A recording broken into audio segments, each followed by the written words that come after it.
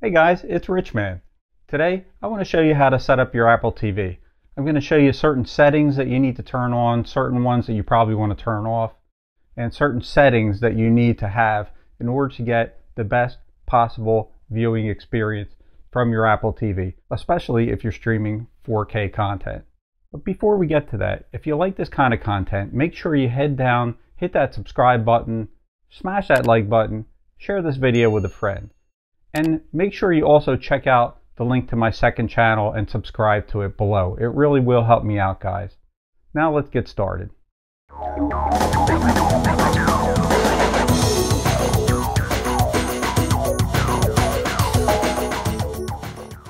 So here I am on the Apple TV home screen.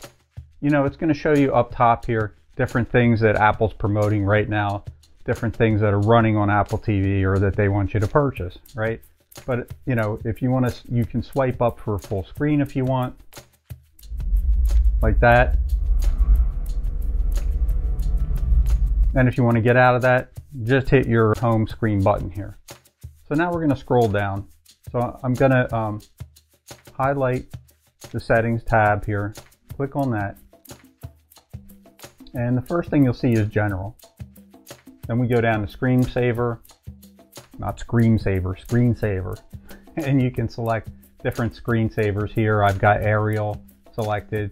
You can go into Apple Photos, home sharing, music library. Of course, in the Apple world, you can tie everything together. You can watch all the photos you have on your phone. You can watch on your, your Apple TV.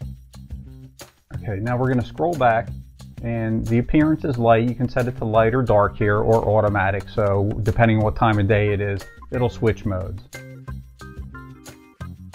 And you can set it to sleep. I have it to sleep after 15 minutes where I'm not using it. It'll just go to sleep. Restrictions here I have off, but if you want to turn them on for parental controls, here's where you can input a, a PIN number. And if we go down to privacy here, you can see location services I have turned on. You might want to turn them off if you, you know, if you don't want to be tracked, if you want, don't want people to know where you're located. If you go into photos, here's where your photos are going to show up. Apps that have requested access to your photos will appear here. Now Bluetooth, this is very, uh, this is a very nice feature because I've got a pair of Bose QuietComforts. Uh, that's the, the 35.2, I believe. And I hooked them up right through Bluetooth. You can also hook up any Bluetooth headset. You can hook up if you have the AirPods, if you have the, the uh, AirPod Pros. Now let's scroll back to where it says settings. And you're going to see all these different categories. Uh, video and audio. Now these are settings that are very critical to how your content is going to stream on your TV. I have a TCL 75 inch 4K television but not everything coming through your apps is going to be 4K. So you want the, the Apple TV to be able to adjust to give you the best possible picture. So here's where you're going to, going to um, change your format to 4K SDR. If you go in here, it'll show you all these different options. But you want to select 4K SDR at 60 Hertz. And, and then go into your chroma settings. If you have the latest HDMI cable, um, you do have to have the latest, I think it's 2.1 HDMI cable in order to set it on 444. Otherwise, go with the 420 setting here on Chroma. And then under match content, you want to have it to match range and frame rate. So, you know, if you go in here, you'll see that I have them both turned on.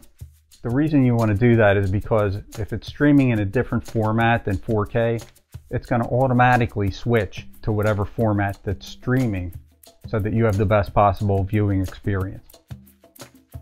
So again, make sure don't enable Dolby Vision because it's going to automatically switch to Dolby Vision if something that you're streaming has Dolby Vision.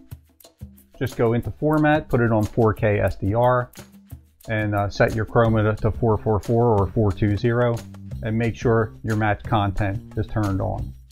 Here you can check your HDMI connection to, to make sure that your HDMI cable is of the latest specs, so you can stream in 4K.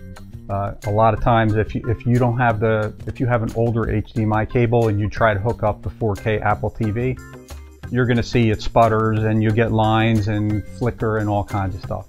That just means that you need a better HDMI cable. So you know, I would say go over to Amazon. In fact, I'll leave a link in the description below to a fairly inexpensive one that you can purchase for your Apple TV 4K. That will, you know, any problems that you're having with the picture, that will solve a lot of them. Here you can reset everything if you need to start over again. You mess something up here, you're not sure what you did, just hit reset. Now here's your AirPlay and HomeKit. So of course I have it turned on, so if I want to AirPlay something from my iPhone, it automatically finds the Apple TV and will start streaming it on my TV. Accessibility, here's where you want to go in, and that's where you can set up how you view your closed captions. And remember, a lot of the stuff on your Apple TV isn't free. So you will have stuff like Netflix and Hulu, and all those require a subscription, of course. Apple TV itself requires a subscription if you want to get Apple TV Plus. And if you want to watch movies or TV from Apple, of course you can, from the iTunes store, you, of course you can download them. You can either rent them or, or buy them, which, you know, if you want to buy, if you want to get into buying digital content, which seems to be the wave of the future, you can do it right on the, from the home screen there. Now under system, you can see it gives you info, it gives your help info, your legal info, what's new info. And here's your software updates. So every once in a while, you just want to go in here and check. A couple of times I've had software updates that they didn't automatically update. I had to go in and manually update them. So if you go in here, you see I have automatic update turned on. But like I said, a couple of times I've gone in here and it hasn't been updated. So you know, you can click on update software and it's going to search and it's going to tell you whether you need to download anything. You can see mine's up to date. So now let's go back to the home screen just by hitting that uh, the home monitor looking button here on the top right. And a couple of things that you can do with these apps. You can move them around if you want. So let's say for instance, um, YouTube here. If you click and hold on the top pad here, you'll see that it starts to wobble. So when it does that, then you can just scroll it over and you can put it wherever you want it. And then you just click on that, that upper part, that upper pad here, and it'll place it right where you put it. Just like that. And then back to the home screen. You'll see here you have your iCloud photos. So if you want to see photos that you're uploading to the cloud through your phone, if you click on that, you can turn on iCloud photos. So I think that's about it for this video, guys. I've showed you how to optimize your settings for video. That's an especially important part of setting up your Apple TV. Make sure you have those, uh, those video settings set up the way I showed you, and it will automatically set for you. Some people have had problems with their screen turning a different color. I've had that happen myself at times. And what you want to do, if that's the case, it's probably your HDMI cable that causes a lot of these various uh, visual problems you'll have with your Apple TV.